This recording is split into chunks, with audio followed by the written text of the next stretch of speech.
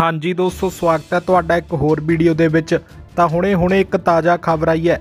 ਤੁਹਾਨੂੰ ਦੱਸ ਦਈਏ ਕਿ ਕੇਂਦਰੀ ਮੰਤਰੀ ਨਰਿੰਦਰ ਤੋਮਰ ਨੇ ਕਿਹਾ ਕਿ ਖੇਤੀਬਾੜੀ ਬਿੱਲ ਰੱਦ ਨਹੀਂ ਹੋਣਗੇ।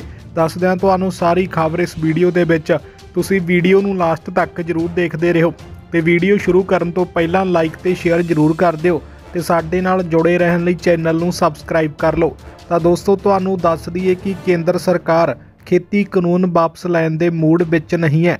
ਅਜਿਹਾ ਖੇਤੀਬਾੜੀ ਮੰਤਰੀ ਨਰਿੰਦਰ ਤੋਮਰ ਦੇ ਬਿਆਨਾਂ ਤੋਂ ਝਲਕ ਰਿਹਾ ਹੈ।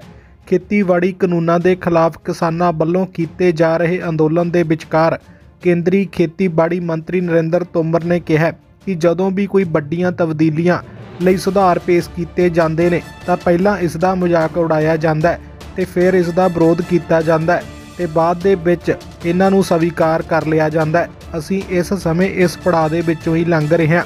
ਤੇ ਦੋਸਤੋ, ਬਾਕੀ ਤੁਸੀਂ ਦੱਸੋ ਕਿ ਕੇਂਦਰ ਸਰਕਾਰ ਕਿਸਾਨਾਂ ਦੇ ਨਾਲ ਹੁਣ ਅਗਲੀ ਮੀਟਿੰਗ ਕਰਨ ਤੇ ਵਿਚਾਰ ਕਰ ਰਹੀ ਹੈ ਕਿ ਮੀਟਿੰਗ ਕਰਕੇ ਇਹਨਾਂ ਬਿਲਾਂ ਦੇ ਬਾਰੇ ਸਰਕਾਰ ਰੱਦ ਕਰਨ ਦੇ ਜਾਂ ਸੋਧ ਕਰਨ ਦੇ ਟਾਲੇ ਨੂੰ ਲਾ ਕੇ ਕਿਸਾਨ ਸੰਘਰਸ਼ ਨੂੰ ਫੇਰ ਲੰਬਾ ਘੜੀਸਣ ਵੱਲ ਸੋਚ ਰਹੀ ਹੈ। ਤੇ ਤੁਹਾਡੇ ਕੀ ਵਿਚਾਰ ਨੇ? ਤੁਸੀਂ ਆਪਣੇ ਸੁਝਾਅ ਸਾਨੂੰ ਇਸ ਵੀਡੀਓ ਦੇ ਕਮੈਂਟ ਬਾਕਸ ਵਿੱਚ ਕਮੈਂਟ ਕਰਕੇ ਸਾਂਝੇ ਜ਼ਰੂਰ ਕਰਿਆ ਕਰੋ।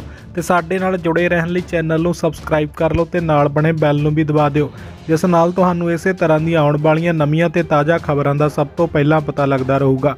ਇਸ ਵੀਡੀਓ ਦੇ ਵਿੱਚ ਇੰਨਾ ਹੀ। ਮਿਲਦੇ ਹਾਂ ਕਿਸੇ ਨੈਕਸਟ ਵੀਡੀਓ ਦੇ ਵਿੱਚ। ਤਦ ਤੱਕ ਲਈ ਧੰਨਵਾਦ।